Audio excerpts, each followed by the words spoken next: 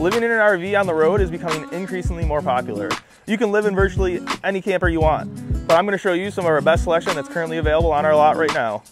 So this is a 2015 Forest River Wildcat fifth wheel. The reason I chose this as being livable in is because of its versatility. So you get this big open space here.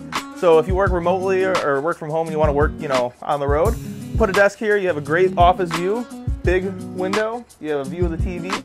Also, you could put a, if you have pets, you could put a cat tower here or a dog crate.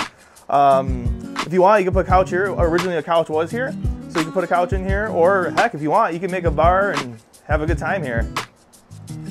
Next, I want to show you guys this 2015 Forest River Vengeance toy hauler. Come on, let's take a look inside. This RV would be ideal to live out of on the road if you have like a motorcycle or uh, maybe a golf cart. You got a garage right here. These beds go up. This kitchen would be ideal to live in on the road. It's got plenty of counter space. I mean, I think there's more counter space here than I have in my own house. The master bedroom in this RV has plenty of storage space so you can bring all your clothes along with you for the ride. Do you not have a fifth wheel hitch in your truck? Well, no worries. We have plenty of travel trailers that'll be great for you to live in on the road as well, just like this 2015 Forest River Rockwood. This Rockwood has three slide outs, so you'll have plenty of room for activities. What's really cool is that this has dual slide outs. So they slide out together and you have plenty of space right in your living area with your kitchen. And also you get this huge entertainment center, which is great if you have uh, you know gaming systems or anything like that. You can put right here, plug to the TV, and you're good to go. I know you're thinking to yourself, you don't really want to haul a travel trailer around with you, or a fifth wheel. Well, no worries, we have plenty of motorized options that'll work for you as well. We are now inside a 2007 Sunova. This unit only has 46,000 miles on it, so it's got plenty of road life ahead of itself. So key feature of this motorhome are these two comfy couches right in front here. So these couches actually fold down and they meet each other, so you have one big bed right here in the middle up front. This Sunova motorhome also has a comfy master suite.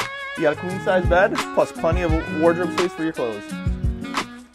If you're looking for something to live in a little smaller than a Class A motorhome, well, we got the perfect thing for you. This is a 2013 Leprechaun Class C. This Leprechaun motorhome features luxurious theater seating by Thomas Payne. It's got a hideaway TV. It sinks down into the counter and then rises back up when you want to watch it. It's got a fireplace, and you got plenty of counter space here to do whatever, you know, cooking and whatnot, so it's a great candidate to live on the road in. Another cool feature about this motorhome is it doesn't feature a small booth dinette. It's actually got a full-size uh, residential style dinette, which is really cool. You'll feel like you're at home with the family, even living on the road. One thing I'm sure you're wondering is, how can I live in an RV without having any internet connection? Well, we have you covered.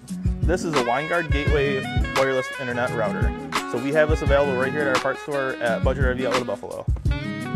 If you guys have ever considered living in an RV on the road, stop in and talk to Chuck and Jay, and they'll be able to help you out without breaking the bank.